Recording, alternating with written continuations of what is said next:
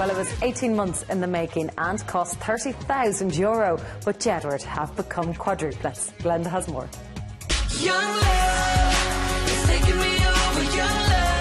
I think this is the first time I've been able to get a word in edgeways. Lads, you're very quiet. What's going on? Hello? Will you talk to me? What's up, Glenda? Yes, you are seeing double right now.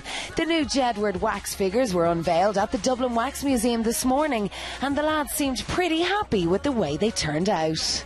Yes, very, very happy. This is exactly like me. It's got my expression, my typical John smile, and it's got Jedward hair, it's got our eyes, and it's got my same teeth, and it's got the same expression as me and Edder. But yeah, we're very, very excited, Kay. It's been over a year. Are you happy with yours? My wax work looks amazing. As you can see, it's giving a high five to Xpose it. And as you can see, the eye color is perfect, green. And you can see the eyes, the teeth are straighter than John's. My hair, lots of luscious volume going on in there. Yeah, your hair was longer back then, it? back, back then, okay, our hair was like over 10 inches long, okay? Right now it's about nearly six inches long. Tell us about the process because this took over a year. Tell did you have to pose for it? Were you sitting around for hours? Tell And me. the, the process, we first came here, uh, I think like a year ago, and they did all the measurements on our eyes, and they got like these different things. They, they how your, I don't know what to say. It. so they measure your nose, your eyes, yeah, your and they get the skin tone because if they don't get the skin tone right, you could look like nothing like yourself. The waxworks took over 18 months to make. They cost around 30,000 euro each, and there was 10 to 12 pounds of wax used on both figures.